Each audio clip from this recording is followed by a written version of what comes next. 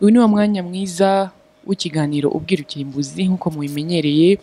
Buri ku cyumweru live kuva isaa kugera isaa tanu z'amanywa ikiganiro kikongera kigatambuka. Ku wa gatandatu saa mbiri kugera saa tanu z'amanywa. Ibyo tuba tubibwiye nk'umuntu ucanye radiyo agasanga ni ubwira ikirimbuzi atarabimenyereye. Ikiganiro rero gitangwa na mwarimu bwana mugabo john. Mumaze kumenyera muri benshi mumaranye umwaka kuri radiyo abigisha abaha amatopic cyangwa se inyigisho zitandukanye zimaze gufasha benshi nubwo hari bamwe zimaze ahubwo gutera urujijo rwinshi hari abantu muhuruka akubwira ati rwose ngiye mugabo john iyo radiyo igezemo nkumva nubwira ukirimbuzi mpita nyizimya kuko ibintu avuga agiyewe oya nta byanze nta bikunze ari aho yayobewe icyo yafata. Ukumva wenda arakubwira ati keretse keretse duhuye twaba twakwivuganira nkamubaza ibibazo byinshi uko ibintu avuga. Yego ni byo ariko ariko ariko. Rero turabakiriye mwese ni karibu aho muherereye mu duce twose tugize igihugu cyacu cy'u rwanda. Eh, cyane cyane n'abari hirya y'igihugu cy'u rwanda mu bugande i burundi abakunzi bacu b'abarundi turabaramukije cyane rwose muri iki gitondo. Tukaba dusuhuje n'aba- n'abari ku mugabane w'i burayi. Turabasuhuje cyane abari mu bwongereza abari za denmark abari za sweden mwese mwese rwose turabasuhuje cyane. Ndetse n'abakunzi bacu bari muri za amerika turabaramukije tubahaye karibu tubahaye ikaze kugira ngo uyu munsi tubane ku nyigisho nshyashya. Twari tumaze ibyumweru bibiri twiga kuri uh, the power of imagination and the power of memory. Rwose ibyo ntabwo twabisubiramo cyane cyane ko ibiganiro byatambutse byagiye bisubiramo no ku cyumweru gishize ntabwo twaje kwiga ariko basubijeho ibyo tuba twize kugira ngo murusheho gusobanukirwa aho byagucikanywe ubyumve noneho utuje. Uyu munsi rero uyu munsi inyigisho ihari ni inyigisho ivuga ngo imana n'imbabazi agakiza n'ubupfura. Imana n'imbabazi bihuriyeho ibyo bintu. Kuko dukunze kuvuga ngo imana niyo mbabazi n'ubundi. Imbabazi ni imana ngo imana iracyicaye ku ntebe y'imbabazi. Ngwino ihane umuntu akihana ejo akongera akajya kwiba ntacyo. Imana yacyicaye ku ntebe y'imbabazi. Iyo mana n'imbabazi turashaka uyu munsi mwarimu wacu abidufashemo dusobanukirwe neza ndetse n'agakiza n'ubupfura bihurira he. Hari agakiza ukwako hari ubupfura ukwako. Ibyo bintu bihurira he cyangwa se ibyo bintu bitandukanira he? Uyu munsi rwose turababwiye ngo karibu mufate amakaramu mufate amakaye abakunda kwandika kugira ngo muze kubona nuko mubaza mwarimu ahagana saa yine tubahaye amanimero ya telefone cyangwa kuri za mesaje turazisoma rwose. Twibutsa abakunzi bacu bakunda kudusaba ngo ese nta handi hantu umuntu yakura ibiganiro by'ubwirukirimbuzi dufite ama social network iyo ikiganiro kimaze gukorwa duhita tugishyira ako kanya kuri youtube channel ujya kuri youtube nk'uko usanzwe usacinga ibindi biganiro ukandikamo ubwirukirimbuzi uhita ubona topics zose kuva umwaka ushize cyangwa se application ya soundcloud. Ni ukujya muri play store nk'uko ushakisha kudownloadinga za whatsapp cyangwa izindi applications ukandikamo u- iyo soundcloud ije wandika ahandi ha search ngo ubwira ukirimbuzi hagati hakwereka ibiganiro byose byatambutse. Icyo gihe ubasha kugendana na mugabo john. Iyo umwumvise bwa mbere biba bityaye iyo umwumvise bwa mbere biragoye. Hari guhita umucira urubanza ngo uyu mugabo ni umuhakanyi.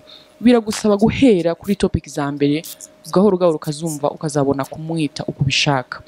Rero ni karibu reka duhe ikaze. Mwarimu wacu cyane cyane ko mbona amasaha twarengejeho gatoyi bibaye saa mbiri n'iminota cumi n'ine. Umwanya n'uwe mutega amatwi mutuje turaza kuganira ahagana saa yine. Murakoze. Murakoze cyane nawe. Murakoze kudukangura no kutwakira mu kiganiro. Um, nanjye uh, nkomeje cyangwa se ntangiye nsuhuza uh, inshuti z'ikiganiro aho ziri hose nk'uko wabivuze uh, mu gihugu no hanze yacyo. Iki ni ikiganiro kibereyeho gufasha ababishaka uh, uh, gusa naho bigaranzura ibyabaneshaga bidafite bidafite imbaraga babohoka ku byababoshye ariko biboheshejwe ibirere ko babyita biboheshejwe ibirere ni ukuvuga ngo eh, ibidufashe mu by'ukuri ntabwo nta mbaraga nta bushobozi nta karite nta karite. Buriya umugozi ugirwa imbaraga y'umugozi ni karite. Eh, ibi rero ni ibidufasha kuba twakwi twakwigaranzura tukanibohora ibyo byose. Nta- muntu uzatubohora. Bya bindi abantu bavuga ngo uragenda kwa yesu akubohore umanika amaboko ukarira ugataha ngo wabohotse ni, ya marangamutima. Ariko nanone tuba tuvoma mu ah, ishyaka ritagira ubwenge. Kuko iyo usuzumye neza umuntu ukamubaza icyo yabohotse bakubwira ibintu wumva bida- bidafite aho bihuriye n'ibyamuboshye nyakuri. Aha rero turabohorwa cyangwa se turibohora dukoresheje ibiganiro. Ibiganiro ni ho abantu bigira mu biganiro ni ho abantu bamenyera mu biganiro ni ho abantu ba- baterera imbere mu, myumvire. Ubwerukirimbuzi rero ni ukubera iki? Abantu benshi bakunda kubaza iryo zina izina uko twaboshywe eh, eh, ni- ni- n'ikintu cyiswe ubwiru cyangwa se twabeshyeshwe twemejwe n'ikintu bagize ubwiru. Ah, batubwira ko ari ubwiru bw'ubumana ubwiru eh, bw- bw- bw- bw'ijuru ariko mu by'ukuri ari kirimbuzi. Kirimbuzi umuntu ushobora kumurimbura akigenda. Agifite inyama n'amaraso akibyara ariko atariho. Ah, eh, abantu umuntu yarimbuka mu myumvire Eh, ntabwo arimbuka mu mubiri. Mu mubiri iyo mvuga ni uruhu ni imitsi n'inyama n'amaraso Ah, ah, uwo si we muntu. Twakomeza kubisobanura kenshi cyane. Umuntu rero eh, yarimbutse cyangwa se baracyagerageza kumurimbura mu myumvire ni ya myumvire rero turimo kugerageza kurengera. Abo rero dufatanya cyangwa tubigendanamo ni abantu bumva kuko bashaka eh, eh, kuzuka. Urumva ushobora ushobora kwica umuntu ariko ntabwo imbaraga yo kuzuka uyigiraho ububasha ni bwa bumana rero bu- buri hejuru y'imyumvire y'ababutuzaniye.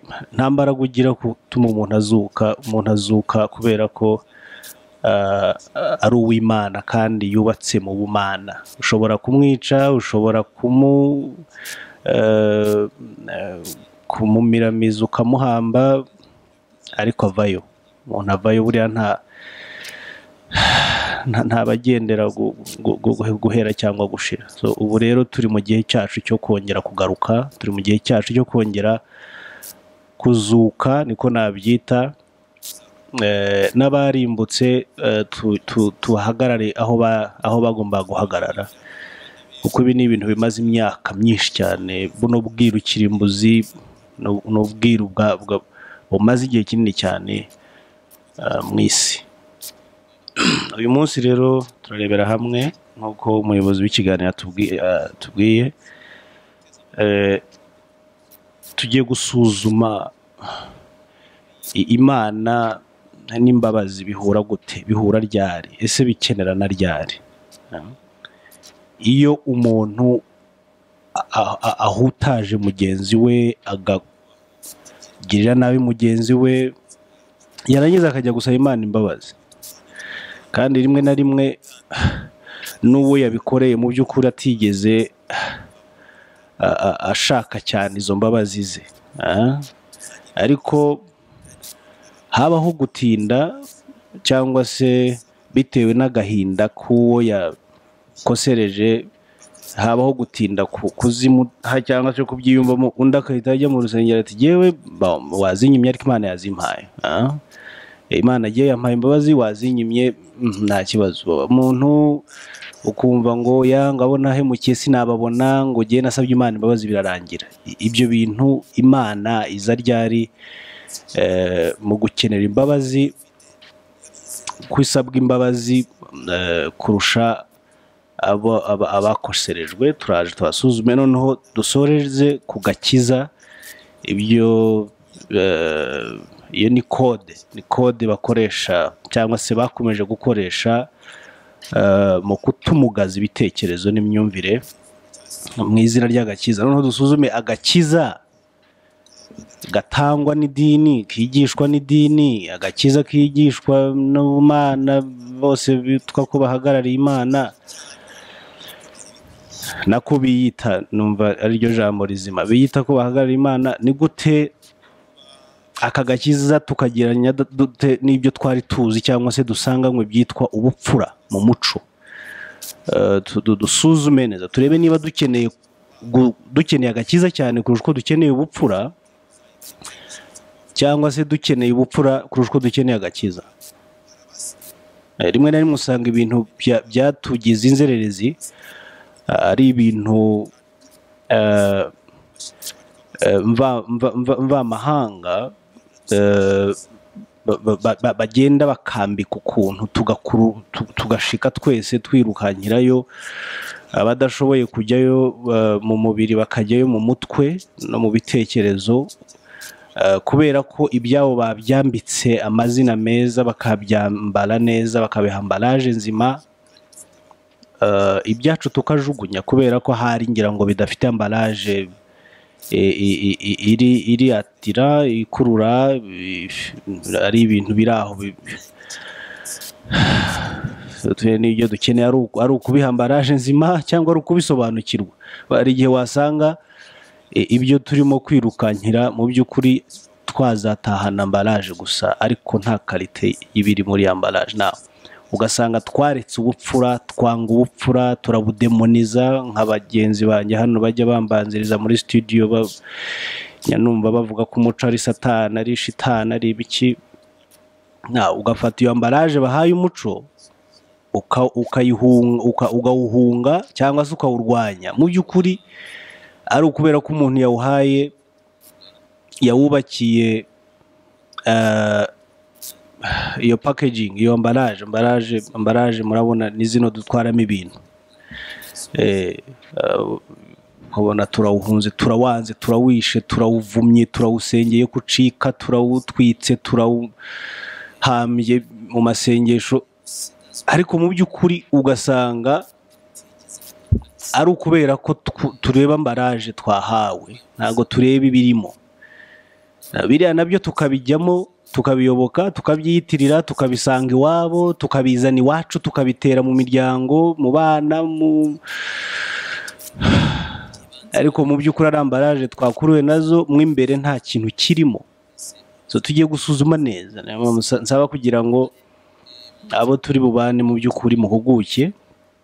Muhuguke eh, mu- bijyanye n'imitekerereze. Imitekerereze. Eh, twese rero eh, ari ababyemera n'abatabyemera dukwiye kubona yuko amateka ya afurika cyangwa amateka yacu nk'abanyarwanda ni amateka agizwe ahanini n'uko twahitiwemo. Ah, ah, murabibona n'uyu munsi. Ibyo abanyarwanda bashaka kwihitiramo buri gihe biba bituzuye biba bifite ikibazo. Eh, hanyuma ibyo ibyo abandi baduhitiramo ni byo dukwiye kwakira ni byo dukunda ni byo biba ari byiza ni byo biba bivuye mu ikibazo buri gihe kiracyari mu mahitamo yacu. Aho ni ho babanje bashinga igitsinsino cyabo. Amahitamo. Ibyo tubabayemo ah, ni ibintu akenshi byagiye biduhitirwamo. Ah. twahitiwemo rero kuba mu mahema y'imyumvire Eh, umuntu cyangwa se abantu biha akazi ko kutubohera aho dukwiye gutuzwa mu myumvire. Ariko aho hantu naho nta burambe.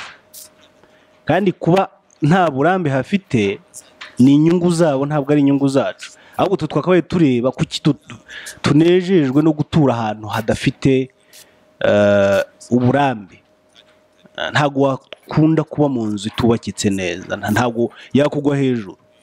Ntabwo wagakunze kuryama eh, ku- gitanda eh, eh, kigizwe ni- ni- n'ibya- eh, n'ibyatsi. Kera twaryama ku ibyatsi ariko ibyatsi byabaga biriho ibiti bifashwe n'ibiti. Ubu twebwe ibiti bifashe biba ari ibyatsi. Ibyo turyamaho ni ibyatsi. Turumva yuko tunyuzwe n'ubwo buturo. Impamvu rero uyu muboshyi w'aya mahema yabikoze gutya ni ukugira ngo agumane akazi. Buriya iyo ukora akazi ushaka iyo urimo uri- rwiyemezamirimo ukomeza ibyo ukora wirinda ko bishirayo. Bishirayo kuko nibishirayo ntabwo abantu bazongera kugukenera.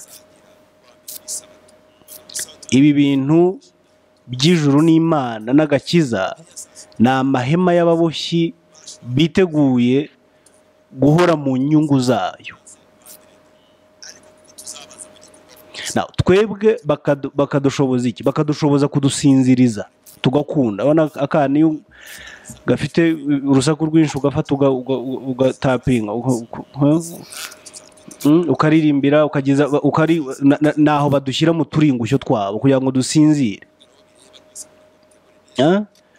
Wagerageza kuvuga bati no no no no no no. Bakaza bakakuryarya bakagushya Uh, no icyo ushaka ni iki? Ni ukwiga ni ukujya hanze ni amafaranga ni iki ukajya aho ngaho ugaceceka ugaceceka beba agaceceka? Kugira ngo umu ukomeza kwinjiza bizinesi idahagarara. Aya mahema y'imyumvire mvuga ntabwo ari ay'imana ni ay'umuboshyi. Kuko agomba kumutunga.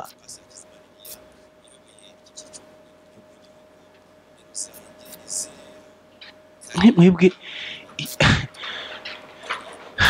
ni ibintu ni ibintu ni ibintu ni uko tutabibonera umwanya ariko tubiboneye umwanya twa- twakwigaye twakabaye twigaye ubundi.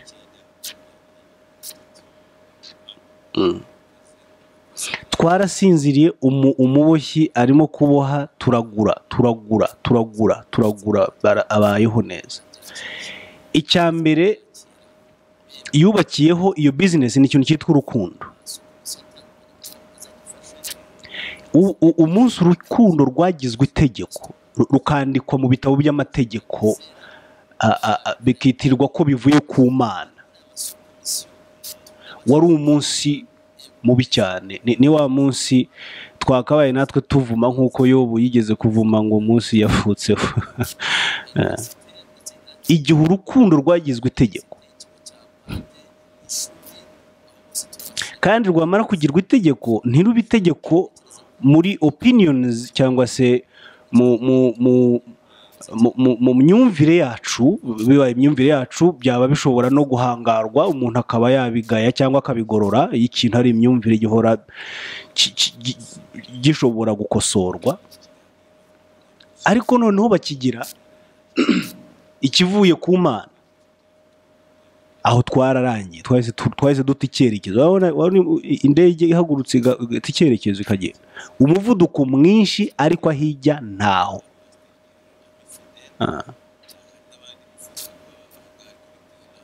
Umuvuduko mwinshi cyane. Tubijyamo turaka turagurumana ariko aho tujya ntaho.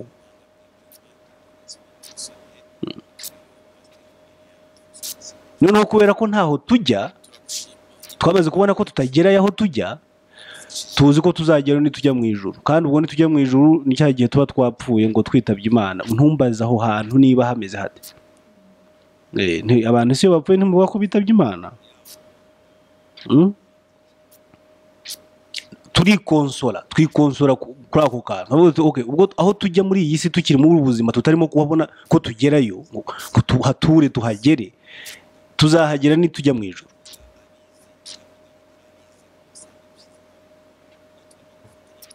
Consolation? Turikonsora. Cyangwa se turi ah, tu- tu- turi turi twishyira mu mutuzo nyine urukundo ruri kugirwa itegeko ntabwo ari byo imibanire cyangwa se umubano kugira amabwiriza n'amahame ntabwo ari byo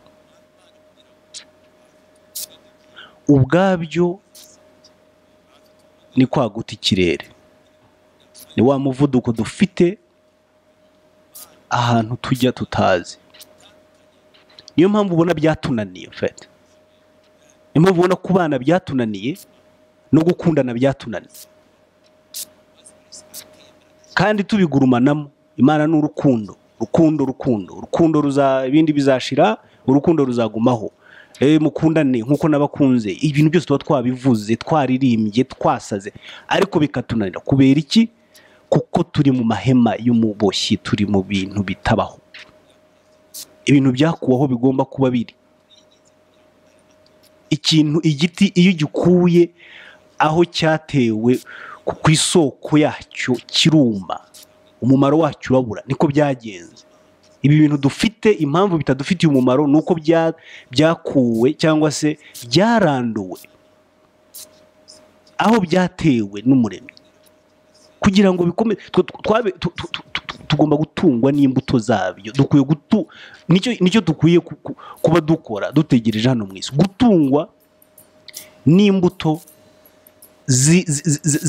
zo guterwa ku, masoko y'ibi bintu imana yagiye ituremamo cyangwa se turemera ariko turabifata turabihindura tu- tubi- tu- tubikura muri eh, eh, harya eh, kimeza turayanga dushyiraho ibyacu twitereye uko tubishaka tubiha uburebure uko tubyumva izo mbuto zabuze niyo mpamvu dufite umwuma dufite umwuma dufite inzara ihoraho itazanashira ariko batubwiye ko tuzayishira nitugera mu ijoro ababitubwira ntibaragerayo.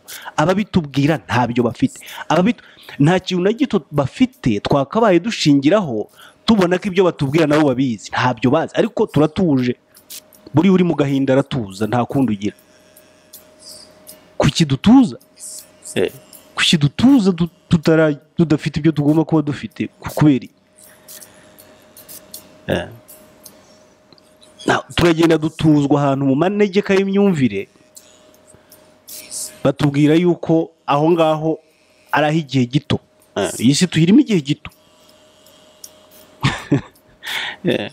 kuko turi mu manegeka iyo uri mu manegeka icyatuma bucya bu- bu- bukira kuri wowe ni uko wumva ko uzahava ni uko wumva ko uzahava anytime.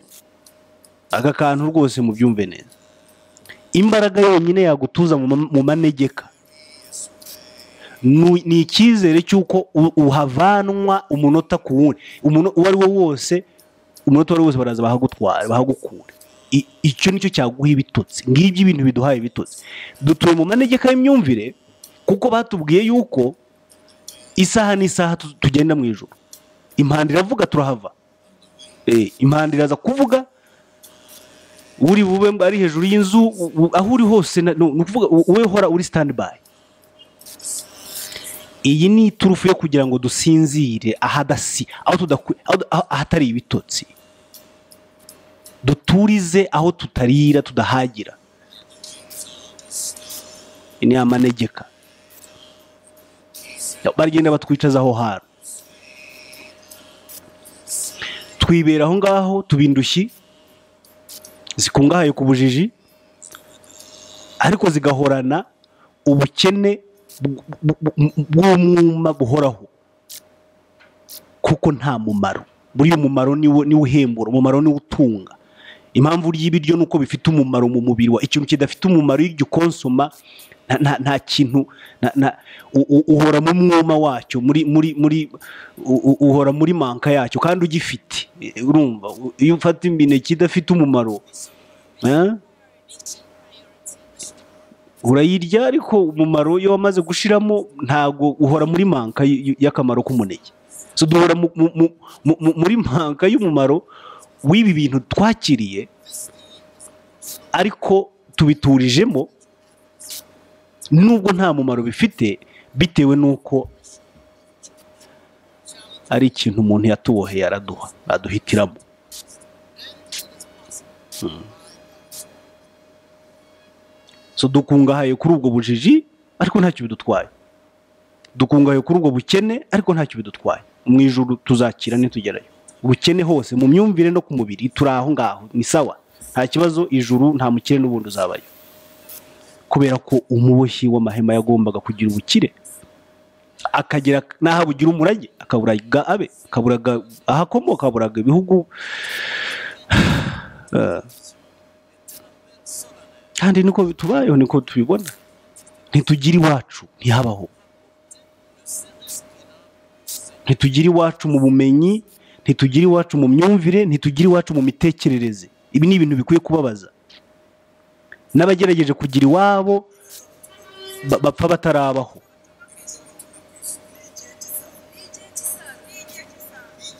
Amacumbi no gucumbikirwa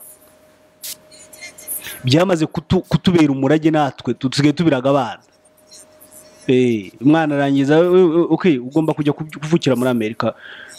Iwacu nta ubwenegihugu nta kamaro urumva nta- ntacyo bitumarira Ah. Hano ubwo dufaranga ukabona bamwe namwe banabikora ni abafata loans barajya muri banks bagafata kugira ngo umwana ajye kuvukira muri amerika. Ubwenegihugu bwa amerika. Kubera iki? Kubera ko hariyo gukungahara ku- ku- ku- kw'akamaro k'ubuzima ariko hano nta buhari. Na- nitu- ku- ka- au- ni- ni- nu- uri umuntu mu- mu- ufite ubwenge wize ntiwibaze impamvu icyo kintu nk'icyo gihari. Kandi rimwe na rimwe ufite n'icyo wakora uri mu mwanya ushobora kugira icyo wakora.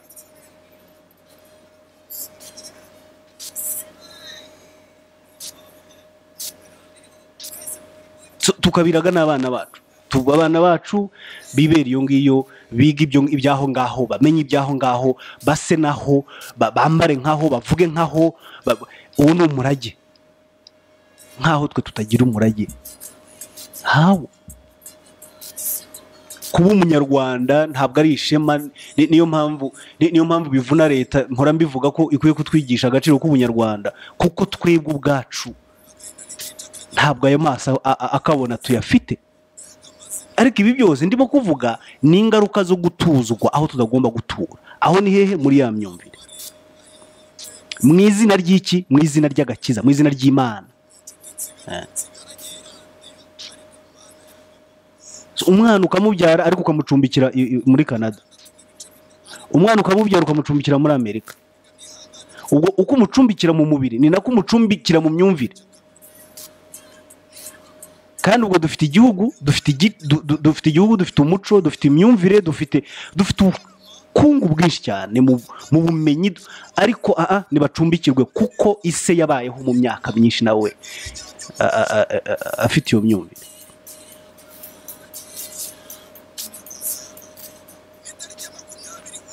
Amacumbi no gucumbikirwa rero muri ibyo byabaye umurage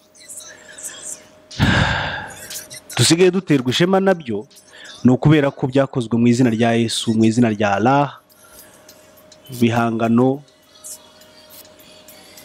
ba yesu bahangano nyine ba mana bahangano ba Allah bahangano eh, eh, kugira ngo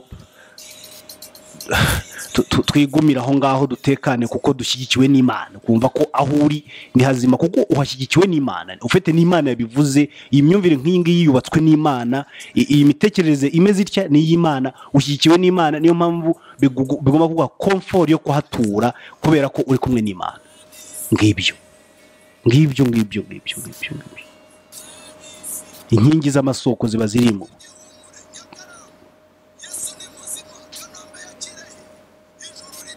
ariko impamvu ni iki? Ni uko muri iyi si turabimukira turi abagenzi kandi nta mwimukira nta mugenzi ugira amasoko ubundi. Ntaho biba. We nawe wa- uri kuri move u- nta- nta- wagira amasoko gute udafite uri mu- umugenzi. Natwe twaremeye. Ngibyo ngibyo. Ngaya manegeka y'imyumvire tubamo. Niyo mpamvu usanga mu kubana kwacu buri gihe hahora ubukene kuko ntawe uhafitiye umwanya. Tu- tu- tura- turaba ijuru turajya mu ijuru. Ngiye kubana na mugenzi wanjye eh, ndi muri iyi si eh, igihe gitoya umwanya n'umunota impanda ishobora kuvuga nkagenda ntabwo nkwiye kubifatamo umwanya ahubwo nkwiye gufata umwanya mu kwitunganya kugira ngo nkomeze gukonekita n'uzantwara. Ngo indege yanjye iraza umwanya uwo ari wo wose ku munota uwo ari wo wose nta mwanya ndi bugire wo kujya kubana n'abaturanyi. Ngomba kugira umwanya wo gupakinga ibikapu byanjye no kugerageza gu- kuguma en contact nuza kuntwara aba aba- ibyo bindi birankerereza ngiyi imyumvire niyo mpamvu tubanye nabi. Niyo mpamvu duhutazanya tugasaba imana imbabazi kuko imana niyo iza kudutwara. Ntabwo ari abantu tubana bari budutware. Ni ukuvuga agaciro k'imibanire turi mu isi ni hagati y'umuntu n'imana. Aho kuba hagati y'umuntu n'undi. Nicyo gitangaje cyane. Kandi ubwo wibye umuntu ntabwo wibye imana. Usabye imana imbabazi. Ku ngu ufashe ku ngufu umuntu umwana. Ugiye gusaba imana imana ntabwo ari wowe wafashe ku ngufu. Ariko nawe urabikora mu- mu- muri- muri muri rya sindwe ryo kutamenya. Kubera ko kubanishwa gushingiye ku masoko y'umwimerere nta kugihari dusigaye turi mu kubanishwa mu gihangano mu ihema.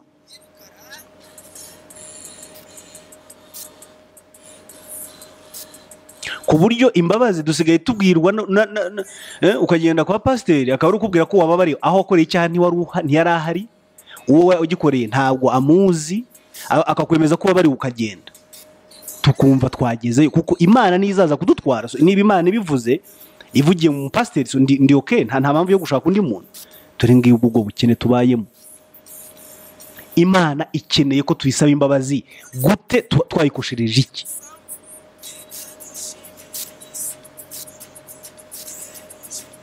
Imana ko, twakabije kuyimanura tukayiha urwego rwa- rw'abo turi bo. Tukayiha amarangamutima yacu tukayiha amarari yacu irari mbese ibitugize byose tubiha imana ku buryo imana isigaye ari mugenzi wacu. Ibintu byose twakabaye du- du- du- dusangira hagati yacu dusigaye tubisangira n'imana direct. Eh. twabisangiye n'imana. Rimwe na rimwe ku buryo usanga noneho um, uh, icyo wakwita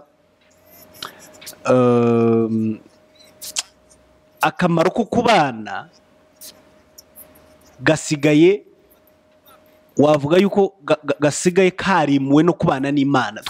Kubana hagati yacu byimuwe cyangwa se byasimbuwe no kubana n'imana. Tubana n'imana birahagije ni- niyo yonyine dukeneye ntabwo dukeneranye. Niyo mpamvu usanga kandi ukabona umuntu utekereza atyo ni umuntu mukuru. Ni umuntu urengeje imyaka cumi n'umunani makumyabiri ari aho ngaho arabyigisha gutyo. Eh. Aho ngaho iyo barimo icyo baba barimo gukora barimo ku- gukura urukundo ireme ry'urukundo riba ririmo kugenda rishonga. Gushonga gushonga ni ukuyenga.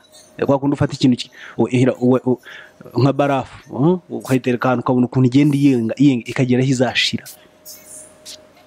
Kandi imana yaratubanishije ngo dukundane. Ntabwo wabana n'umuntu mudakundana kuba tubana nuko tugomba kuba tubanishijwe n'urukundo. Ni ukuvuga ngo niba hagati yacu hatarimo urukundo nta nubwo dukwiye kuba turi kumwe. Niba imana itaradutandukanya rero niba uko kubana kutarigeze guhindurwa imana ivuga itoke noneho reka mbahindure muze mubane nanjye mureke kubana hagati yanyu. Ni ukuvuga ko imana turimo kuyihimbira ibintu byinshi cyane idafite aho ihurira na byo. Ni ukuvuga uru rukundo tuyijyanira twakabaye tubanza guhazwa narwo hano tukiri mu mibanire yacu. Kuvuga ngo ukuri ni ukuvuga ngo ukuri ni ukuvuga rero ngo urukundo twita ko dukunda imana. Nta ruhari ntabwo uzakunda imana utazi imana mutarabonana warananiwe gukunda uwo mwabyaranye warananiwe gukunda uwo muvukana warananiwe gukunda uwo mubana. Urwo si urukundo. Ahubwo ni ryarari. Kuko uzi ko imana ishobora kukwica uzi ko imana ishobora kukujyana mu ijoro ni ukuvuga ubu tu- tubanye n'imana ku- kuri ku- ku ku nyungu. Eh, abo nibo turi bo. Natwe niyo mpamvu iyo tugerageje kubana neza tukitwa ko dukundana tuba twavize inyungu hagati yacu. Ndagukunda cyane kuko ureba icy'ejo iki- icyo azakumarira. Ibi ni ibintu dusigaye dusa na byo kuko ubwonko bwacu imitekerereze yacu yamaze kubumbwa gutya. Ibumbwa n'umubumbyi ukiri hano ku isi. Turasa n'ibumba yatubumbyemo.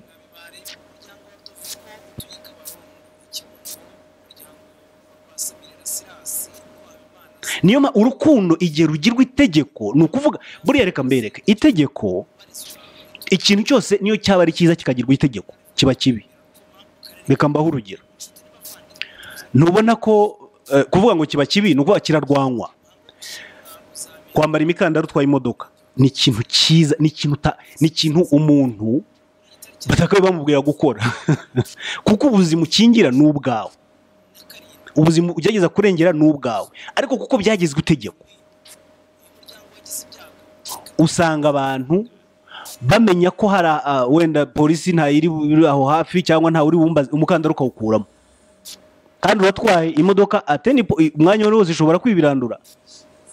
Ni ukuvuga ngo kuko cyamaze kumvikanishwa yuko ari itegeko cyamaze byamaze cyamaze noneho guteza intambara mu myumvire y'abantu.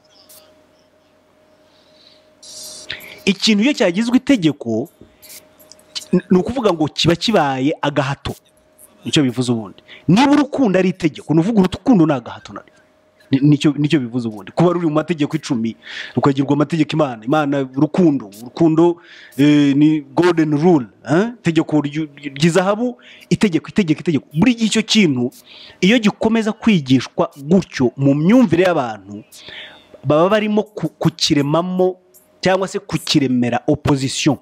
Opposition naturelle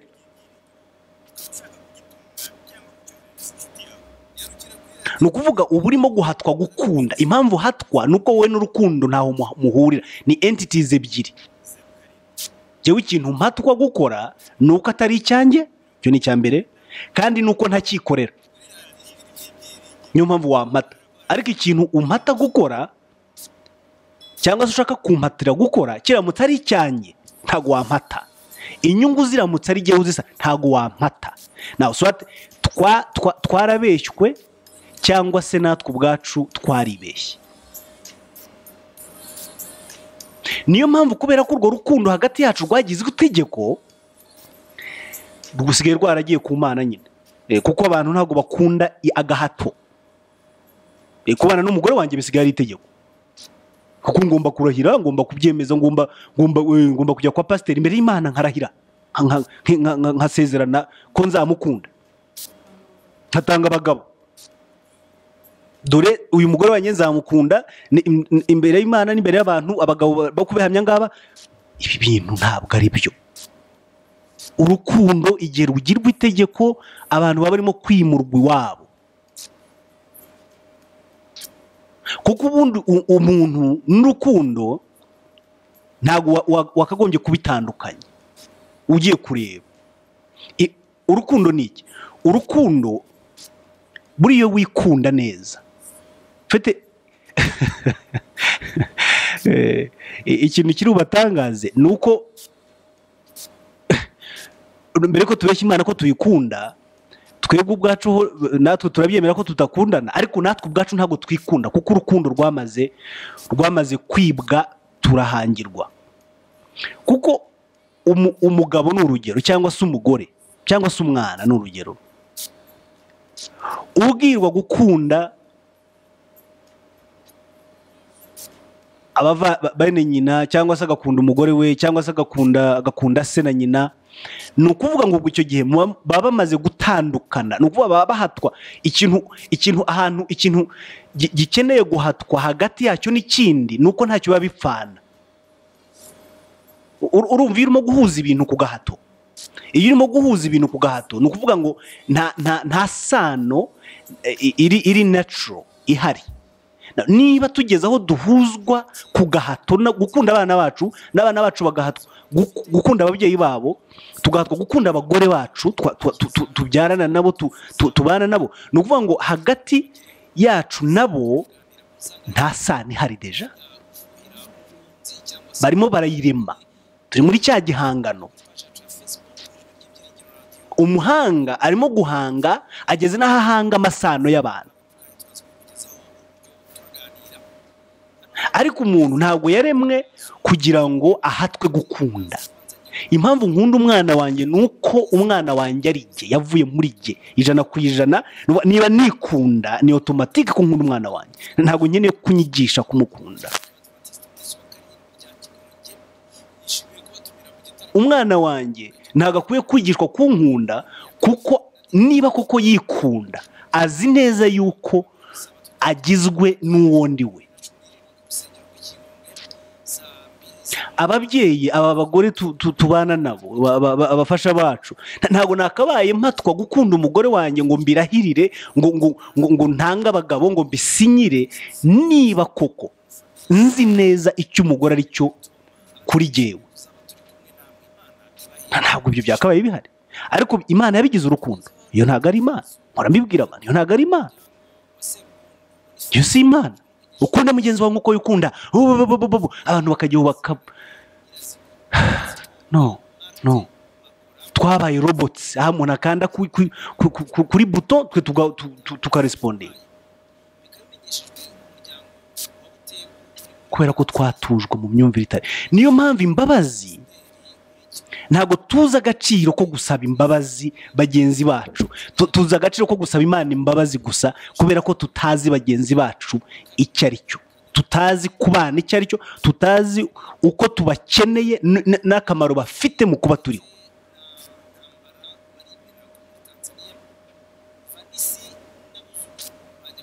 Mm. akamaro bafite mu kuba turiho. Ntabwo tukazi. Ugasaba ukajya gusaba inama. Ngo ese ngo mubabarire? Cyangwa ngo musabe imbabazi? Ngo urumva namusaba imbabazi? Ukajya gushaka pasiteri ngo ngo ibi bintu biri nonsense biri aho ngaho. Pasiteri umubwira nawe ntariho ararwana n'ibyo urwana na byo nawe afite abo abo abo akwiye gusaba imbabazi ahubwo we akwiye no gusaba imbabazi igihugu cyose kuko yirirwa akiba yirirwa akibeshya aho kugira ngo abe ari we dusigaye tugirwa inama n'abakwiye kugirwa inama ahubwo ari we ubwabo. Umuntu urimo kubwira ko agufasha kwimenya ni we ubeshya abantu buri munsi hano. Niwe wambura abantu. Iyo mvuga kwambura abantu mvuga ubwambuzi bwitwaje imana. Ubaka abantu baguhaye amafaranga ariko bayahaye imana uzi neza ko uri buyarye uri bashyire mu mishinga yawe uri buyagure imyenda u- uba ubizi kubeshya. Uwo ni we muntu abantu bajyaho ngo agerageze kubabanisha ab- abanisha umugabo n'umu ntabwo ari byo ntabwo ari byo ntabwo ari byo. Uramaze niyo waba uri imfura byitwa ko bikundwa n'abantu bingana ariko ufite ukuntu ubeshya ufite ukuntu uriganya ntabwo ukwiye ukwiye iyo valeur iguha umwanya wo kubanisha abantu. Imana ikeneye imbabazi zacu ryari? Ikenera ko tuyisaba imbabazi ryari? E- e- e- uko mbitekereza nuko mbizi nta na rimwe imana ikenera ko tuyisaba imbabazi. Kuko nta na rimwe ibyo dukora bihutaza cyangwa biyihungabanya nta hantu duhurira abo turi bo ni- nu- n'icyo imana iri cyo? Ni nk'uko ijuru n'isi bitandukanye. Ku bijyanye n'uko imana yababazwa n'ibyo ukoze yakwafekitwa n'imikorere yawe. Ah, ah, impamvu ugiyewe imikorere yawe inyafekita ni uko umeze nkawe imana ntabwo imeze nkawe imana ntabwo imeze nkanjye. Ntabwo ugiyewe imana ikeneye ko njya kuyi kuyi eh, ku- kujya gu Eh. kuko uko itekereza siko ntekereza uko mbabara siko imana ibabara. Kuki Ah, kuki imana tuyi- tuyishyira ku rugero rw'imyumvire nk'urwacu? Nta na kimwe. Imana icyubahiro cyayo ntabwo gishingiye kuri wowe. Eh, aba- abarokore eh, we get this clear. Tucyumve neza tucyumve neza. Abana bavuga ngo tuzamure icyubahiro cy'imana ngo imana ngo icyubahiro cyayo tucyagure. Eh, ndibuka kurusede ya mbere kurusede ya mbere ya- yakozwe n'ubu- n'ubukirisitu. Kurusede mvuga ni intambara intambara yo kwica abantu no ku yabaye bwa mbere yakozwe ngo mu izina ryo kwagura icyubahiro cya yesu the glory of christ. Eh, yatangijwe n'um- n'umupapa witwa abani wa kabiri. Avuga ngo ubu ngubu ni campaign cyangwa se ni crusade yo kugira ngo icyubahiro cya yesu gikwire cyaguke naho ubwo barimo gukwiza barimo kwagura inda zabo n'imbaraga zabo n'ibyubahiro byabo bakoresheje inkota mu izina ry'imana aho ni ho twakuye ibingi byo kuvuga ngo icyubahiro cy'imana iyo icyubahiro cy'imana wowe ucyagura nkande ko wagura icyubahiro cy'umuntu kuko uri umuntu imana wagura icyubahiro cyayo uzi itandukaniro ryawe na yo imana ikeneye umunwa wawe kugira ngo yaguke. Imana ko yihagije mu- muri byose. Aho icyubahiro cy'imana kiri udashobora no harimo ubudahangarwa bukomeye cyane ku buryo udashobora no kuhinjira uretse kwikonsora no kwiha akazi kugira ngo abantu baguhembe.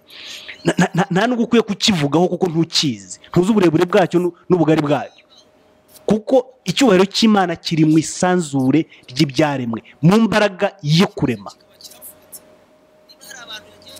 Kuba izuba riri hariya ridashobora kugwa iyo mbaraga ikwiye icyubahiro.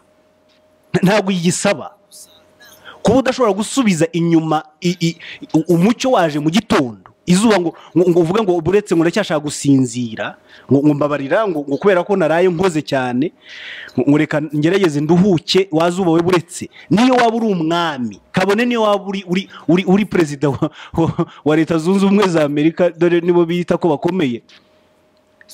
Ukaba udashobora gusubiza inyuma iyo mvura igihe ije. Nta- ntabwo nta- nta- ntabwo ntabwo byumva yuko imbaraga irimo kubikora mu by'ukuri idakeneye sapoti yawe idakeneye idakeneye eh, eh, eh, iyamamaza ryawe. Uko ni ukwiyamamaza guhagije.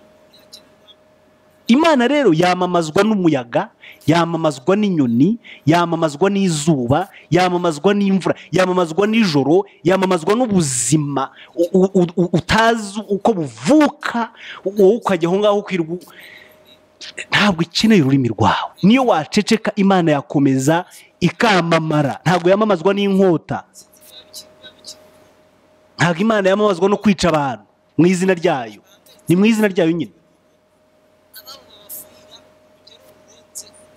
Abantu nidushyire umupira tubanze du- tubanze duhumeke. Let's breathe in and tubanze dusuzume ibi bintu turimo ibyo ari byo. Abantu bakavuga icyoya kikabarenga ngo baramamaza imana. Imana yamamaza iki? Ko wamamaza umuntu imana yamamaza. Impamvu wamamaza umuntu ni uko atamamaye.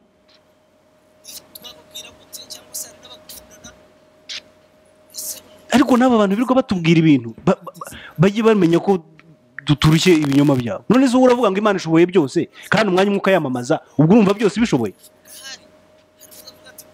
Ni ukuvuga ngo niba imana ikeneye abantu bayamamaza ntabwo ishoboye byose. Ntabwo imana ari imu- imu- imu- imunipotenti Eh? Ni- niko babyita imu- manipotenti ni umuntu ushoboye ni ugushobora byose. Iyo nshoboye byose ni ukuvuga no kwamamazwa no kwiyamamaza ndabishoboye. Niyo mpamvu mbwira abantu aba bitwa abakozi b'imana bakorera imana iki? Ni imana niba ishoboye byose.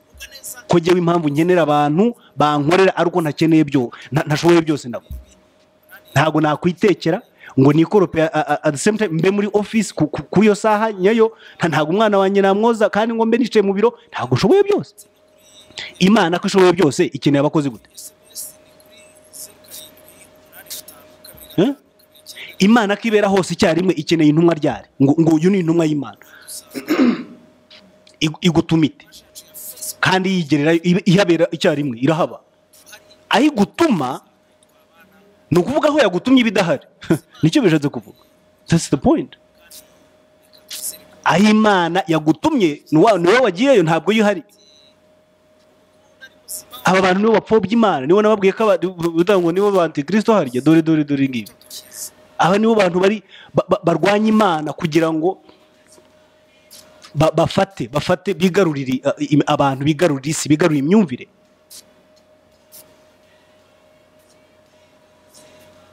Iyo mana rero tuvuga ntabwo ari imana nyamana. Niyo yayindi tugerageza gukunda kuriya?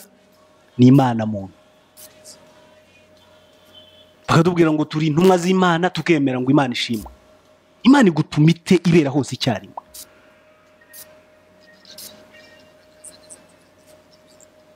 Hmm? imana uyikorera ute ishoboye byose? Imana ko yapiraswe kera mwaduhaye amahoro. Aba bantu bigisha imana baduhaye amahoro.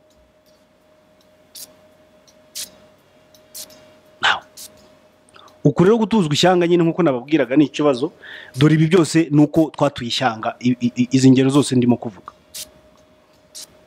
Uru rukundo izi mbabazi dukeneye reka nzibasobanure neza cya gihe iyo abantu bagiye ku imbere y'imana bakarira bakavuga ibyo bakoze imana imana imana imbabarire imana batoka imana yakubabariye. Ubwo abarimo kugusengera bakumva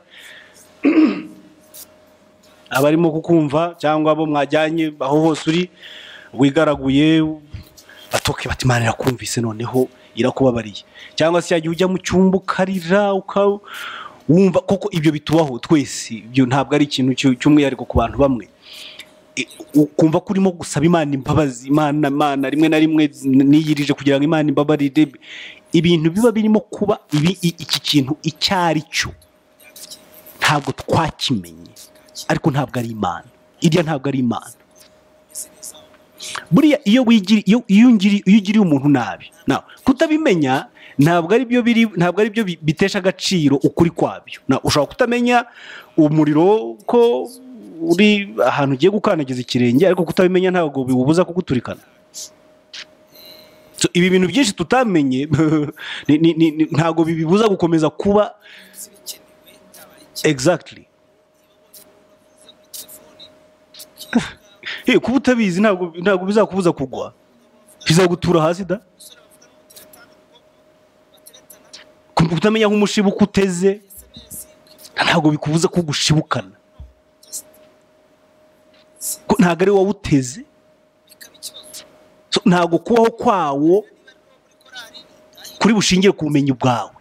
Ahubwo ni inyungu zawe kugerageza kuwumenya. Kubw'inyungu zo kwirengera. Ibi rero abantu banyuzwe no kutamenya ibyo bintu byose. Bakumva ko ubujiji bwabo kuri byo buri bubibarinde cyangwa buri bubafashe kubigendamo no no no no no iyo ni misconception.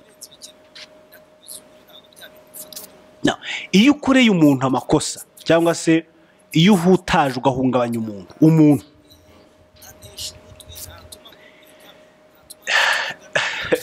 Bya bindi twita ngo ni guilty conscience eh, cya kidodo abarundi niko bacyita ikidodo wa, mutima ugucira eh, kwa kubura amahoro.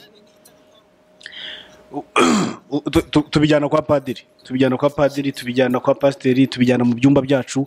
Kwa kubura amahoro ntabwo ubuza aho kuba guteze ntabwo ubuza aho kuba ku- ku- kubakiye. Kuba kubakiye mu mwimerere cyangwa se mu ireme.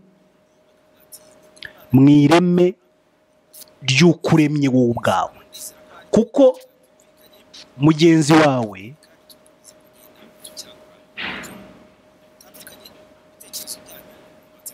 mugenzi wawe ni wowe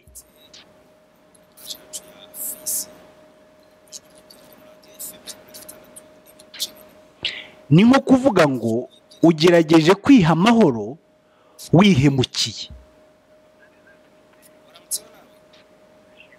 ntabwo byakunda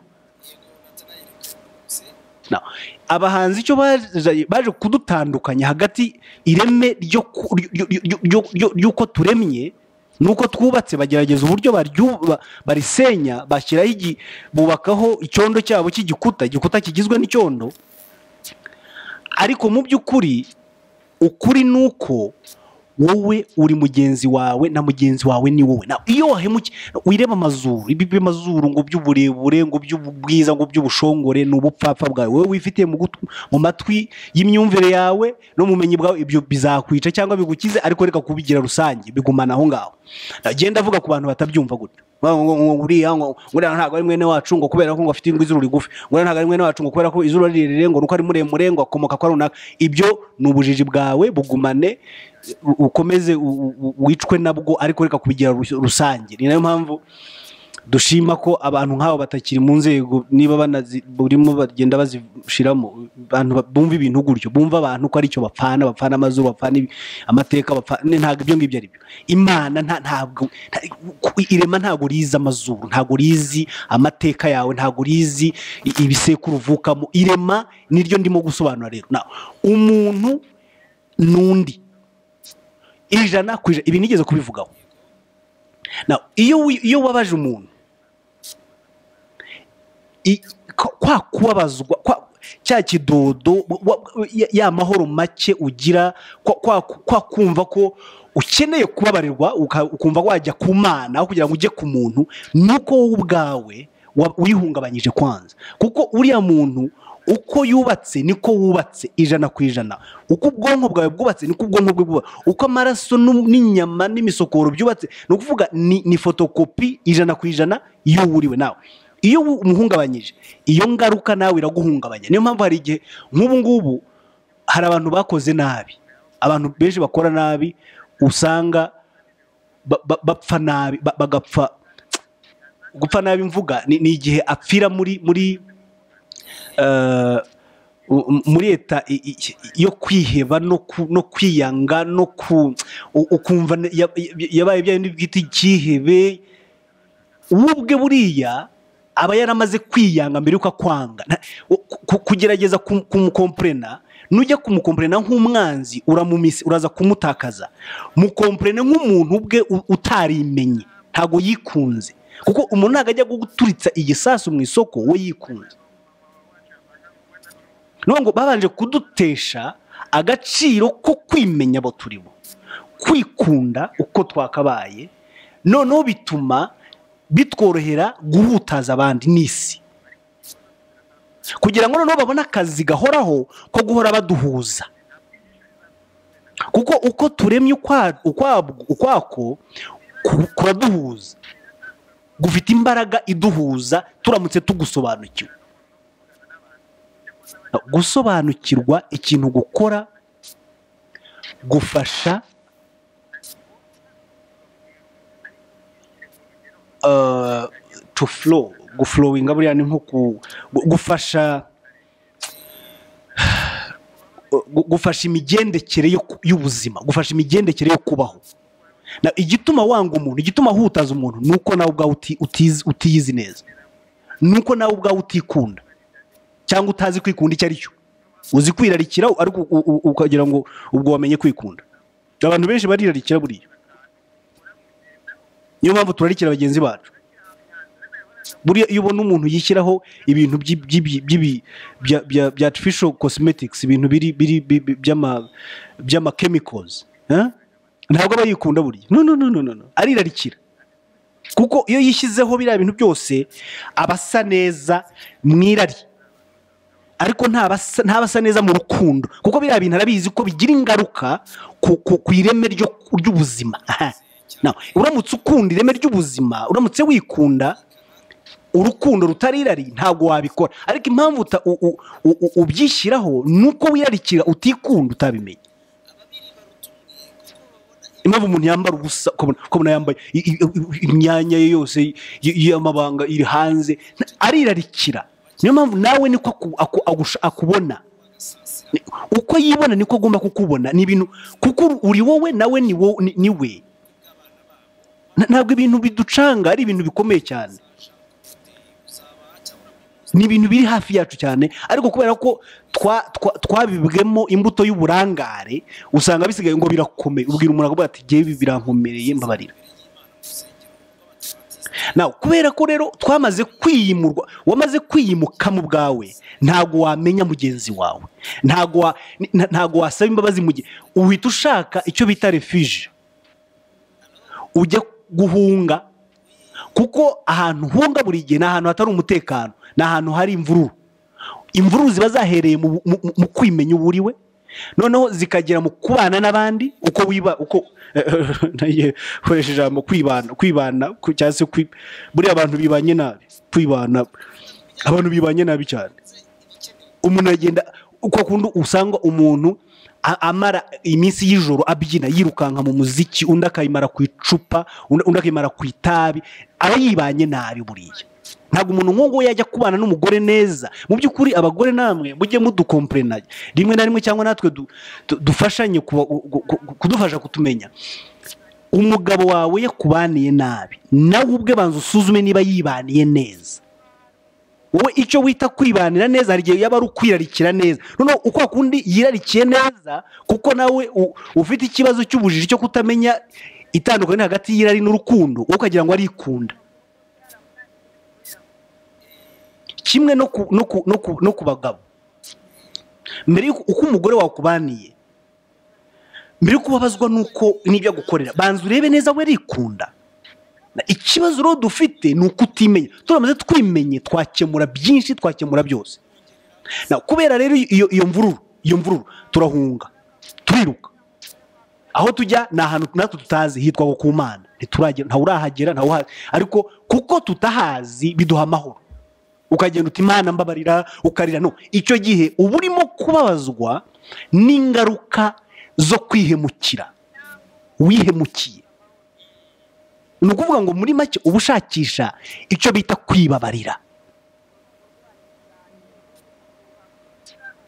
Sinzi ko ibi bintu tubyumva. Eh, birasa naho bitari nta bufana. Eh, inyigisho ngewe nigisha ntabwo ari ubufana. Biba bisaba ko wumva. Eh. Ntabwo rero ushobora kuvuga ngo ngiye gusaba imana imbabazi imana utazi aho hantu nta n'uwagiyeho ngo ahakubwire ahakurangira ba- ba- banyura aha bicara aha bigenda gutye uhurewe n'umuntu. Ibyo ntabyo uzi ariko ukumva ko wabikoze biriya ni ukwikonsora kubera yuko uri mu ihungabana ry'uko wihungabanyije ugahungabanya ubuturo. Kuko buriya ubuturo bw'umuntu akiri mu isi ni bubiri. Ni muri wowe na mugenzi wawe. Reka iryo jambo nisubiremo. Ubuturo bw'umuntu akiri mu isi ni habiri burya. Akiri mu isi mu isi ndavuga eh, isi igaragara ni mu muntu we ubwe no muri mugenzi we. Icyo gihe iyo wamaze kwihungabanya ugahungabanya na mugenzi wawe uba uri muri mu eh, mu- muri muri uba uri mu ntambara burya. Icyo gihe noneho ugashaka aho ujya kwihisha refije ahantu ujya kwihisha bahita ku mana.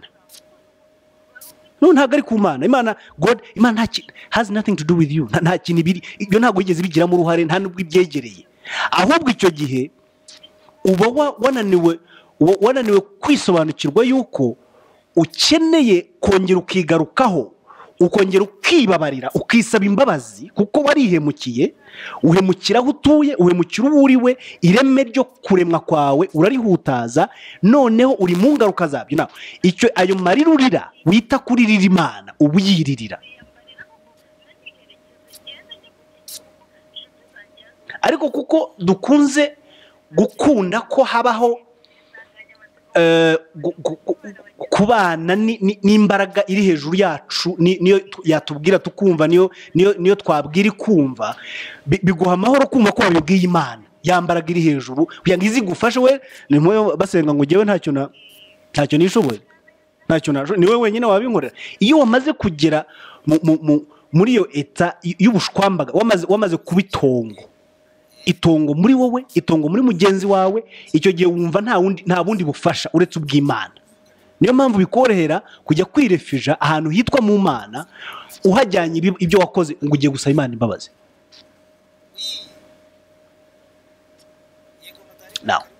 Imana wowe imana ntabwo igira agahinda nka kugira ngo imana ngo irababara ngo witeka ngo ngo agira agahinda ngo yicuza ngo impamvu yaremye umuntu ngo ibintu biri aho ngaho imana tukayifata tukayi- tukayiremera amapoweme yayo twiremera. Ntabwo imana igira agahinda nka kugira nta- ntabwo iri emosiyoneri nk'uko uri emosiyoneri imana ntabwo ari umuntu. Ibi ngibi impamvu tubibamo by'agahinda ni emosiyo kubera ko turi mu mubiri. Ni bya bi- bya bizonga mubiri nyine. Amarangamutima ibyo byose. Noneho tukabisangiza n'imana na yo tukayibisangira. Izi mbabazi rero zikeneye kwanza mbere y'uko ujya kuzishakira ku muntu wita ko wahungabanyije. Ukwiye kubanza kuziheraho. Uzishakira kuko ntabwo wamuhungabanya utunganye utuje. Ntabwo wamuhungabanya uri intact. Kugira ngo ubimenye ni uku- ni- byagus- byagusaba iki? bigusaba kwimenya neza. Abantu nta mwanya dufite wo kwimenya. Nta mwanya dufite n'isegonda ryo kwimenya. Kubaho neza kwavuye mu kwimenya ubu kuri mu kwirarikira.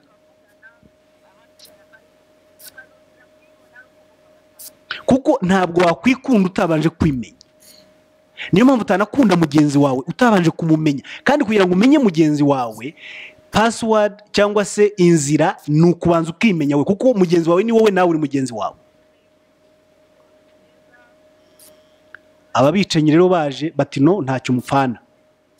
Hari umuhutu hari umututsi hari umutwa hari umu hari umu hari umu hari umu kandi barareshya batya bagira batya bagira batya hakabaho kuvuga ngo bo kuri bo ba- ba- bagize ba- ba- basakisidinze ni sakisesi kuko bashoboye bashoboye gushyira imbibi aho zitaba. Kandi zubakitse pe. Ni ukuvuga ngo ubwo icyo gihe tuzabaho tugengwa n'imbibi. Ah. kandi iyo ikintu cyashyiriweho imbibi ni ukuvuga ngo kiba cyakuwe mu mwimerere wacyo.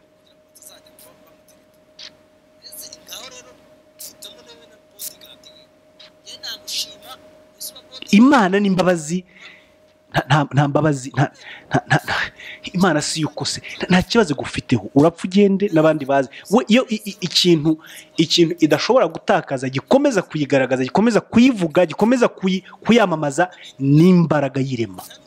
Aho ngaho ni ho kandi aho ntiwahinjira ntabwo igukeneye ngo uyisabe uyicyocyore uyi- uyishi- uyi- uringushye uyi- uyi- uyiterete bya bindi tubamo uyi- uyi- uyiture amaturo menshi kugira ngo igukunde we kuyitera ibi- ibiceri bitayisakuriza. Ibi bintu byose turimo ni ubusazi. Nta hantu imana izira aha ngaha.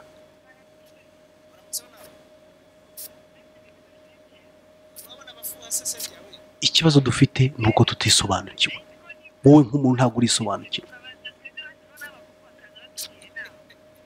baraza humura baraza Na, ugasanga rero iyo turekerwa umwanya wo kwiyiga kwimenya no kwisobanukirwa twari gusanga imiterere karemano yacu idashingiye ku gukundanishwa n'amategeko. Kuko burya itegeko riberaho guhuza cyangwa kubanisha nk'uko nabibabwiye kamere ebyiri zidahuye. Ndetse akenshi zihora zish- zishyamiranye. Ingingo ya kabiri. Imana yagizwe nk'umupolisi cyangwa umugenzuzi w'imyitwarire yacu. Disiplinarian eh uragira gutya imana eh, itahaye imana irakwica. Ima- imana irica. Eh, hari n'ababyigisha. Imana irica. Imana irarimbura. Imana yahawe ishusho y'ubusirikare n'ubupolisi n'ubugenzuzi. Guhana. Imana iraguhana nutangira gutya imana? Nutama amaturo. Imana iraguhana nudatanga icyacu imana iraguhana urumva wa mupolisi mu- muri ntuza y'imana? Umupolisi aguhana wakoze amakosa nyine. Ukoze ikosa polisi araguhana. Eh, nibiba ngo igihano kiragutse imana yagizwe nk'umupolisi cyangwa umugenzuzi w'imyitwarire yacu. Kandi ariyo yaduhanze. Nawe, mwumva uburyo bisekeje. Niba yaraduhanze bivuze ko niba tutarihanze turi ishusho y'uwaduhanze. Nta kuntu ubwe yaba umupolisi w'ishusho ye bwite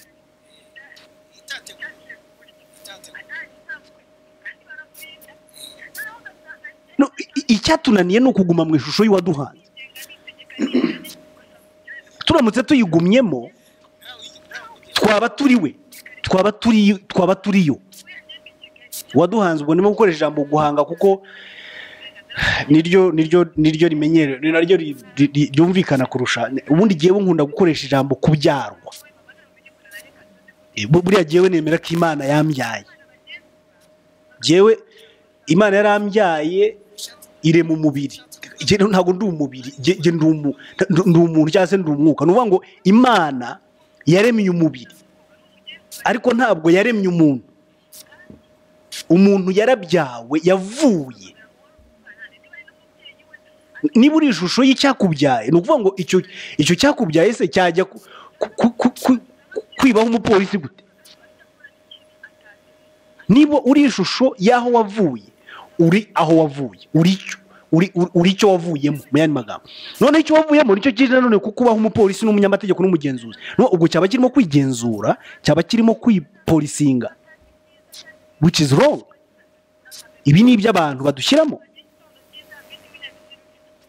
Bakatwubakira ubwo bugenzuzi n'ubwo bupolisi mu izina ry'imana. Ariko ni ibyacu.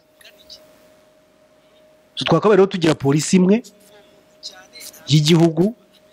Ntabwo tuzaguma muri aya mapuri polisi yaba- yaba- tujye mu mana dusangayo polisi tu- tujye mu mwuka dusangayo polisi ntabwo ari byo tuzagera aho ngaho dusare tuzagera aho twiruke. Duhunge niyo mpamvu isi itaturyoheye. Ahantu hose hari- inkoni hari ibihano. Genzi polisi imwe ni polisi y'igihugu ni iyo ngiyo. Ireba amakosa y'abari So, yaba ari umupolisi w'ishusho y'ubwite satani. Niwe bazana bakavuga bati buriya ni satani wamujyanye. Satani nagira ngo nongere mbisubiremo. Satani ni igihangano cy'umunyamahema w'indamu.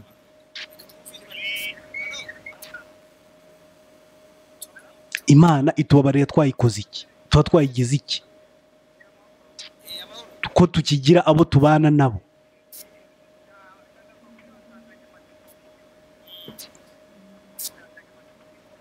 Kuko icyo cyondo cyabumbwemo ubwo bumenyi n'ubundi nababwiraga isura yacyo ni iyo ngiyo niyo kwambura niyo kubeshya niyo guhimbahimba. So natwe twibereye muri ibyo ngibyo ni byo twiberamo kuko dusa na cyo. Twatindanye na cyo imyaka myinshi cyane. Icyo gihangano cy'icyondo ayo mahema. Birangira natwe rero dusa na cyo. Tubibamo mu ishusho y'uburyarya tubana mu ishusho y'ibinyoma hagati yacu mu ishusho y'ibirya kuko icyondo cya cya ki- cya kibumbano ni ikibumbano kibumbye mu buryarya kibumbye mu binyoma niyo mpamvu batwiba batubwira ngo bahaye imana bavuga ngo batumwe n'imana kandi imana idatuma batubwira ko bakora imana kandi imana idakorerwa icyo kintu ki- cy- cy- cy- cy- cy'ikinyoma baragenda bakidutuzamo natwe ni bwo buzima tubanyemo hagati yacu tuba dushaka gusa n'imana ninde tudashaka gusa n'imana? Ariko niba iyo shusho ariyo baremyemo imana tugomba kwisanisha n'imana baturemeye ibyo uzabisanga tubeshya abagore bacu tu- tubeshya abana bacu usange tu- tu- tu- eh, ibyo bintu byose ba- ba- baturemeramo kuko n'imana niko ibikora ndetse imana ntituyihe amafaranga kandi itarya.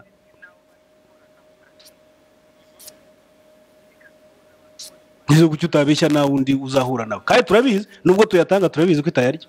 Ariko tubigumamo turashaka gusa na yo tusimplema byaba ari byo byaba atari byo dukeneye ishusho yayo. Natwe ngo ibe mu buzima bwacu bwa buri munsi.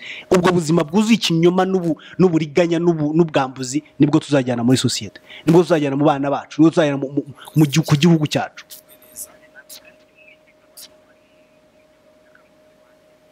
Mu izina ry'imana mu izina ry'imana. Kuko hari iyi vanjiri ishingiye ku ivangura nta kuntu itavangura ibitekerezo na, kamere karemano y'umuntu.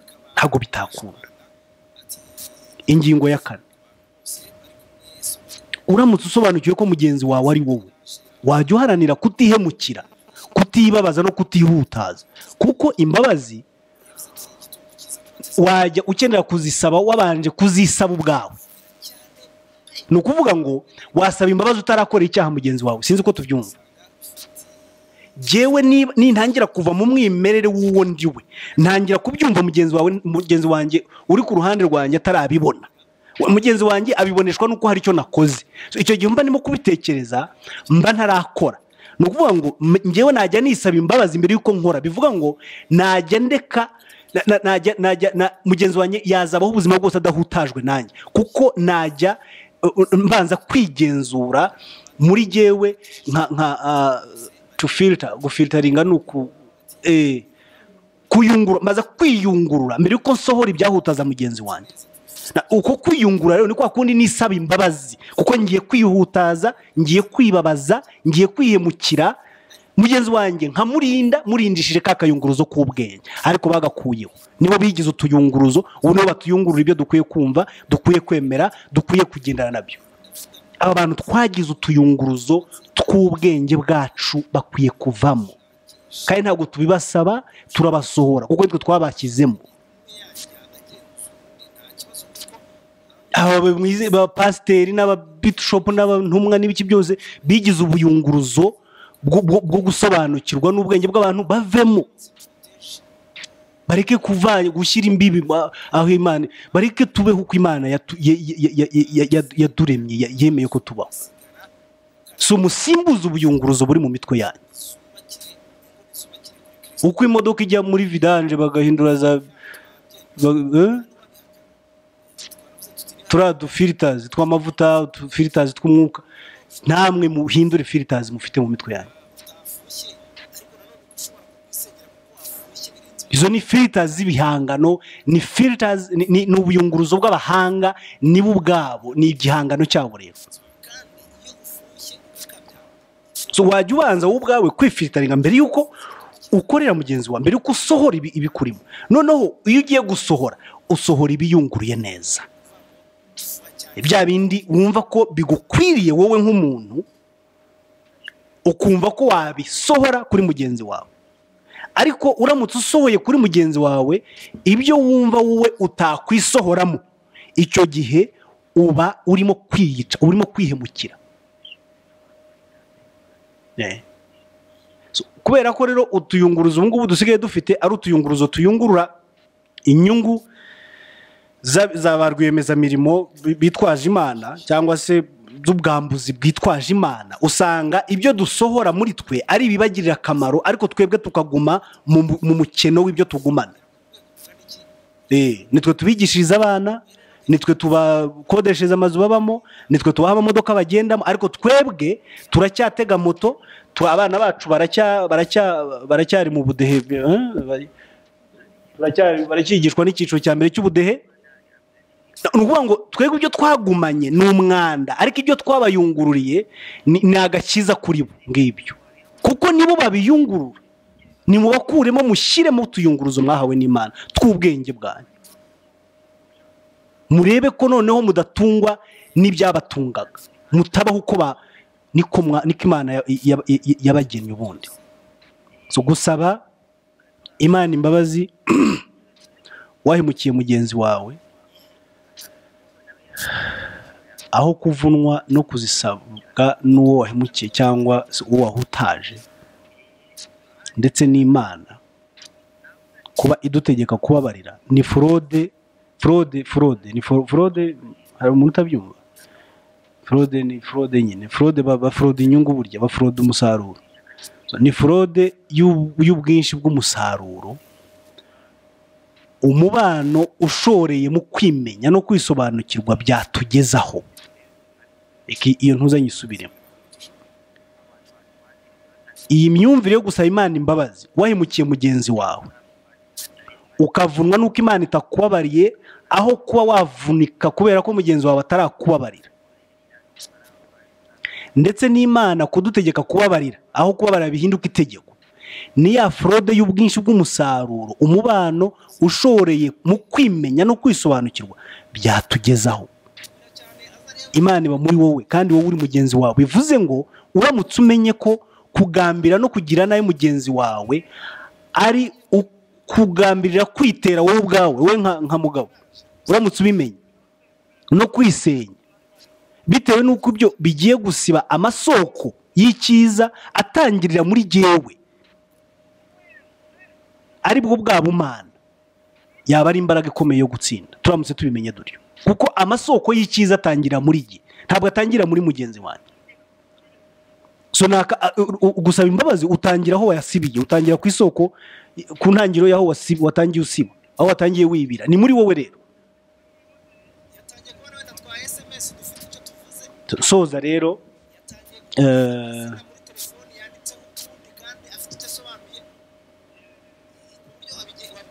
reka tugire icyo tuvuga ku gakiza n'ubupfura gatoya.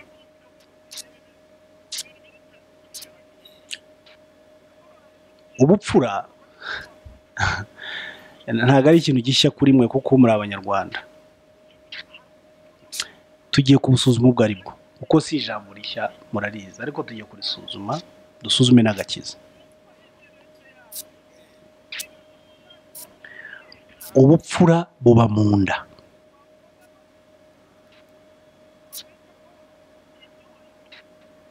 Izo ni za nsigamigani ngira ngo z'ubupfura cyangwa se iyo bavuga ko ubupfura buba mu nda ntabwo ari inda y'ibiryo ntabwo ari igifu. Ba- abantu batazashakira ubupfura mu byo barya. Buba mu bwenge. Mu nda ni mu imbere ni mu mbere mu muntu. Nicyo bivuze.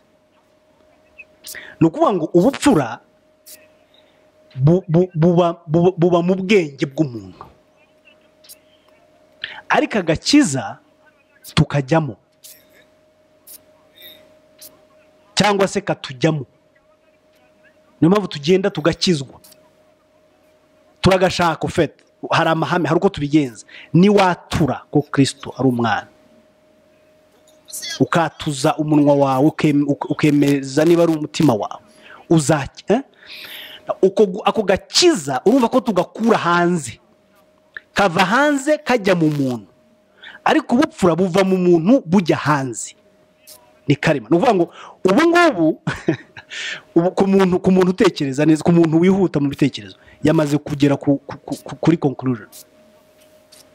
Wowe ibyo ukeneye cyangwa se ibitunga kubaho kwawe k'umwuka cyangwa se ku bitagaragara ntabwo ari ibiva hanze bijya muri wowe.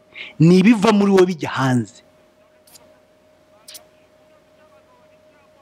Ubupfura rero mu muco nyarwanda ni byo ni bwo bwakabaye ari agakiza. Ubundi basanze dufite agakiza dukijijwe.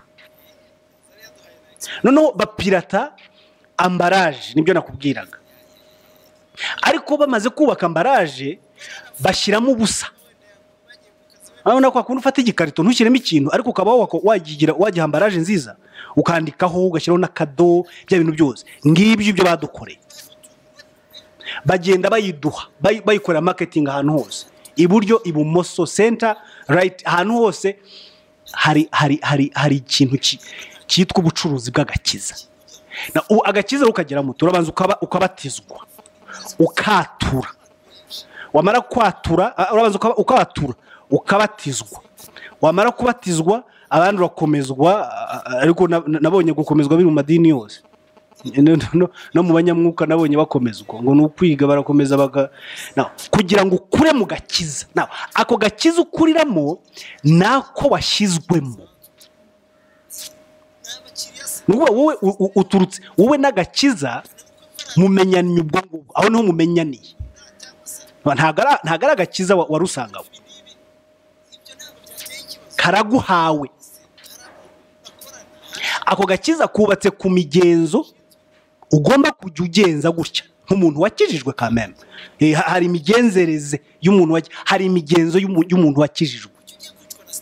Hari imihango y'umuntu wakijijwe.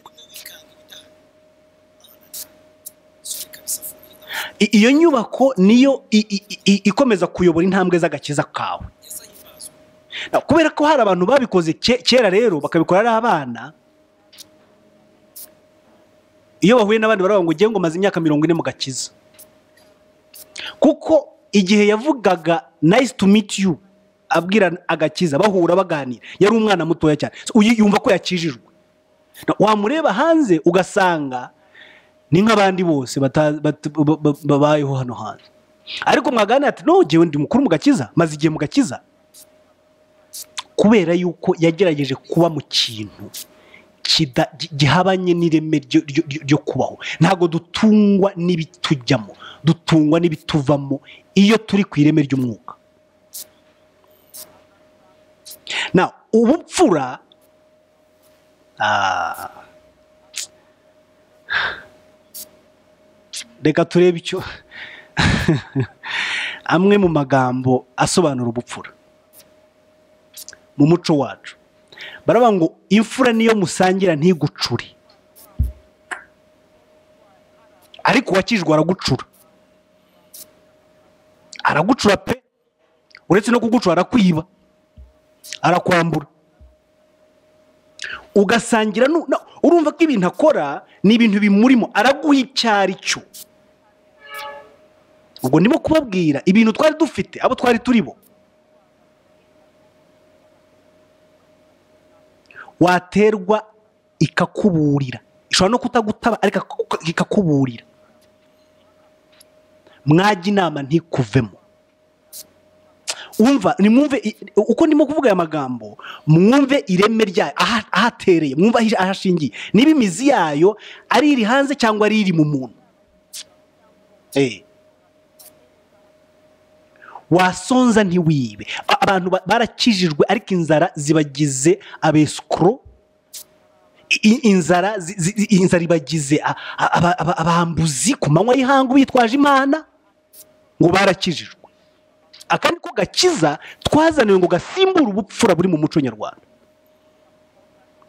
Ariko imfura mu mu muco wacu kera aba ba rusahuzi bataraza warasonzaga ntiwibesha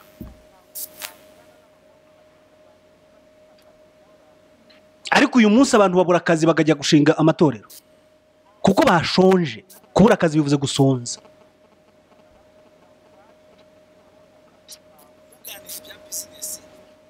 Ngo hari n'uza akavuga ngo ngo wabuze icyo ukora ngo ushanga akazi karabuze ngo wabuze n'aho ushinga itorero.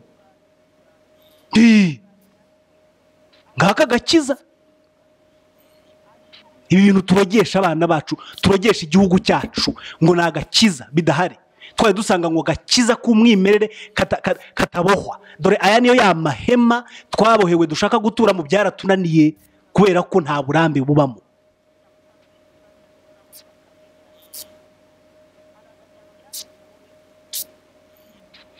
Imfura niyo usonza ni- nisonza ntiyibe.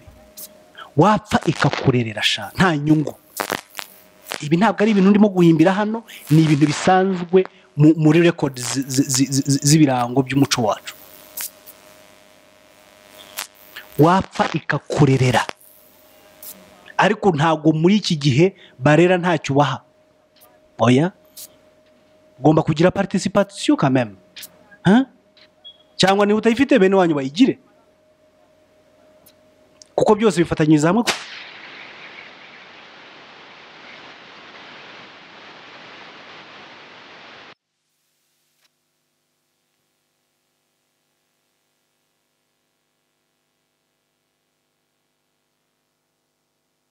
abana turabasigahiye imiryango abana twarabaprivatije muri iki kintu ndimo gusobanura cyitwa agakiza bibera muri ayo mashuri yigisha ngo agakiza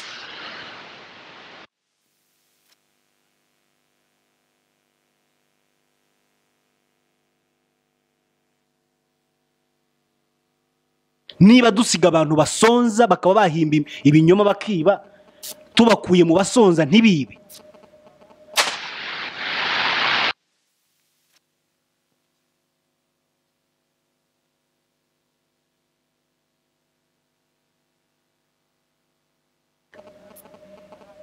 Ni we muntu wakijijwe at- atarakirijwe mu mahema y'abantu. Atarakirijwe mu byondo by'umubumbyi waje ejo bundi ngo aje mu izina ry'imana. Umwaduko rero w'ijambo agakiza mu rwanda rwo hambere wazanye n'ubwambuzi bwitwaje imana. Aho bavuga ko afurika yari ibuditse icuraburindi byagombaga kumurikirwa babizana mu nyandiko z'ibitabo no mu ndirimbo. Babishyira mu ndirimbo murazizi ngo jyana umucyo muri afurika genda uyimare mu mwijima. Ntimujya muziririmba se? Eh. ubwira abariyo ko yesu akiza kandi yabakijije ikimwambura kandi ubwo aba- ababizanye ibi ngibi bafite imbunda ku matako. Ubwo ndimo kubasobanura ukuntu agakiza kateye mu rwanda. Icuraburindi bavugaga ryari ireme ry'ubumenyi n'imyumvire bishingiye ku muco wacu. Ariryo ry'ubupfura ibi by'ubupfura dufite n'ibindi. Barabanga iryo ni icuraburindi. Ni ubujiji. Civilisation ifu ntagomba gusiviriza afurika baraza barabyimura ibi ngibi. Baduha ibyo bitaga ibyo ngibyo by'agakiza. Ba- ba- babiburandinga bandikaho imana ko bivuye ku mana ni ijambo ry'imana. So imana niyo igiye gukura umwijima muri afurika niyo ije kumurikira afurika murabizi byose bi- mubihoramo. Ntabwo mbibarusha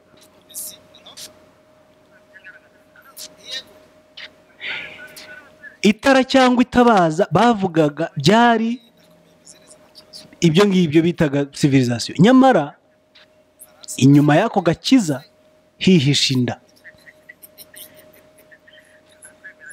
N'ubwami. Babanza kwica abami bacu bamaze kwica basahura igihugu ubu- ubutaka bwinshi.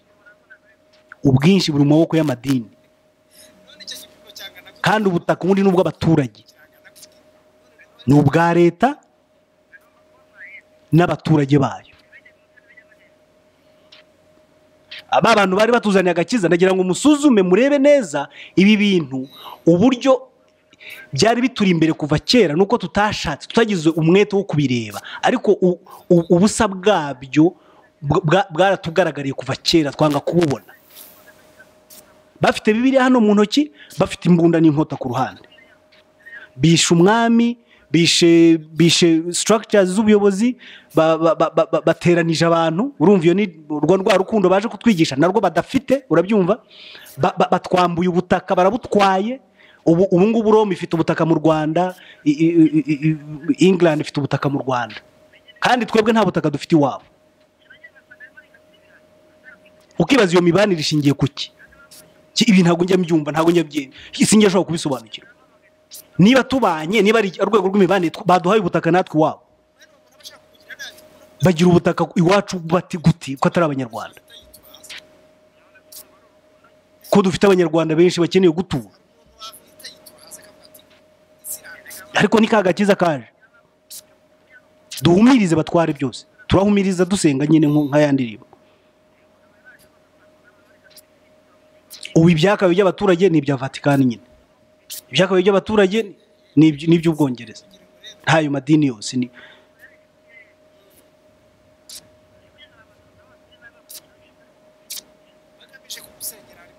baba bara- baratw- baratwimuye turimuka.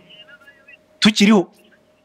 Batwimura mu ntekerezo bakoresheje ngo agakiza. Yesu yabakejeje iki? Badakijijwe. Bamaze kudukuramo ibyo batwambika uwo mwenda niwo dufite uyu munsi. Ibyo badukoreraga ni byo twikorera.